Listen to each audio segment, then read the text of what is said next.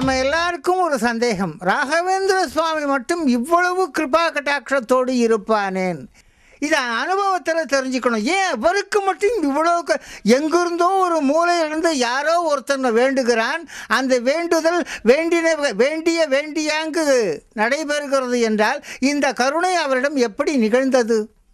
காரணம் மற்ற எல்லா ரிஷிகளும் பிரம்மச்சரியத்திலிருந்து வானப்பிரஸ்தத்துக்கு போவார்கள். வானப்பிரஸ்தத்திலிருந்து சன்னியாசத்துக்கு போவார்கள். பொதுஜன தொடர்பு அவ்வளவா இருக்காது. அப்படியே இருந்தாலும் மகான்களோடு ரிஷிகளோடு தெய்வத்தோடு இருக்கும். ராகவேந்திர மகாபிரபுவனுடைய பூர்வ கிருத்தங்களை பார்த்தாலே நமக்கு அந்த அர்த்தம் தெரியும்.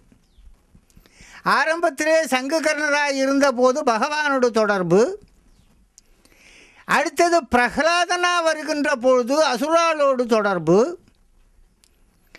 அடுத்தது வியாசராஜரா வருகின்ற போது கிருஷ்ணதேவராய பரம்பரையோடு தொடர்பு. இப்படி ராஜாக்களோடவே இருந்த தொடர்பு ராகவேந்திர சுவாமி என்று வருகின்ற பொழுது பாமர ஜனங்களோடு ஆகிவிடுகிறது. அதாவது அவதாரம் என்று ஒரு வார்த்தை சம்ஸ்கிருதத்திலே சொல்வார்கள் இறங்கி வருதல்னு சொல்கிறது முதல்ல இறைவனோடு அதுக்கப்புறம் அசுராளோடு அதுக்கப்புறம் ஞானிகளோடு அதுக்கப்புறம் பாமர ஜனங்களோடு. பாமர ஜனங்களோட பழகச்சு தான் ராகவேந்திர சுவாமி தானே பாமரனாகி இருந்து கஷ்டப்பட்டார். தன்னுடைய மனைவியோடு சம்சார பாக்கியம் செய்ய இயலாமல் மடத்தில் போய் சரணடைஞ்ச பகவான் தான் இன்று வாரி வழங்கக்கூடிய வள்ளலாய் இருக்கிறார். காரணம் சம்சாரி எவ்வளோ கஷ்டப்படுவான்னு ராகவேந்திர சுவாமியை விட இன்னொருத்தருக்கு யாருக்கும் அதிகமாக தெரியாது. அவள் கஷ்டம் தெரிஞ்சவர். அவள் என்னென்ன கஷ்டப்படுவா? பேசிக்கலாக என்ன கஷ்டம்? சாப்பாட்டு கஷ்டம் துணிமணி கஷ்டம் வியாதி கஷ்டம். ஒரு மனுஷனுக்கு மூணும் வரக்கூடாது சார். இளமையில் வறுமையும் அணியின்மையும் நோயும் மிகப்பெரிய எதிரி. வாழ்க்கையை கொஞ்சம் கொஞ்சம் கொஞ்சம் கொஞ்சமாக அரிச்சிரும். இந்த அரிப்பைத்தான் சுவாமி ரொம்ப அழகாக தன்னுடைய கருணையினாலே விலக்கி கொடுக்கிறார். அதனால தான் இன்னைக்கு ராகவேந்திர சுவாமினாலே மெய்மருந்து கண்ணை முடிக்கிற பக்தர்கள் இருக்கிறார்கள்.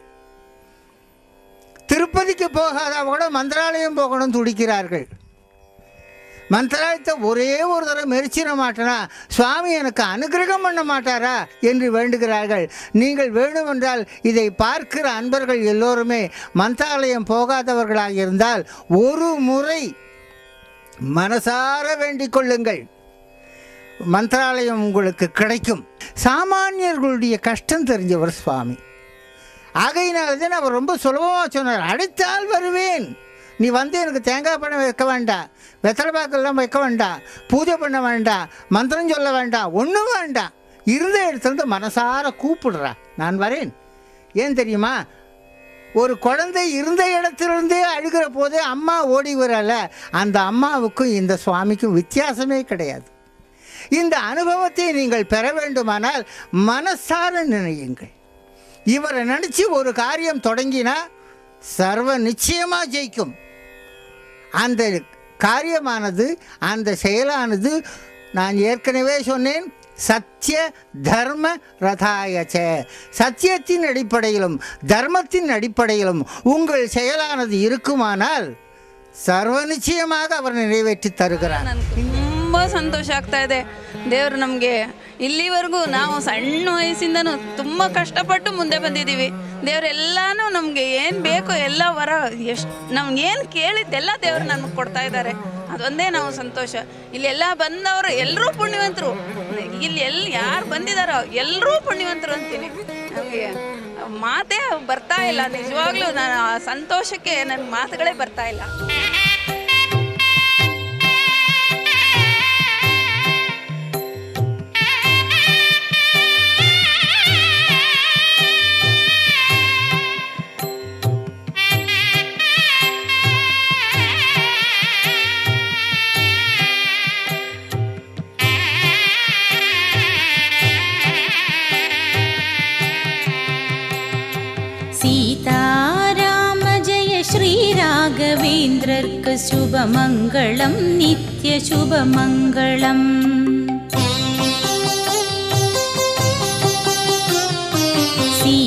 ीतारामजय श्रीराघवेन्द्रर्क शुभमङ्गलं नित्यशुभमङ्गलम् श्रीराघवेन्द्र श्रीयोग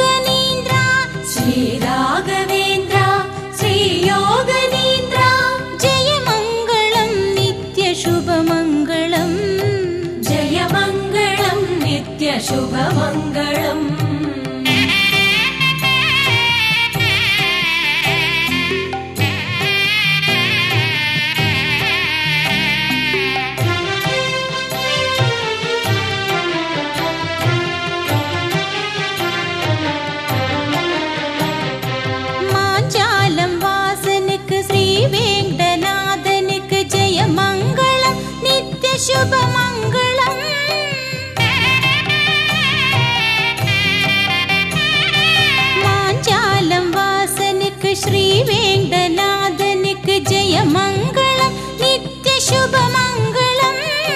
മന്ത്രാലയം വാഴും ഗുരുരാജരാജനുക്ക് ജയമംഗളം നിത്യശുഭമംഗളം.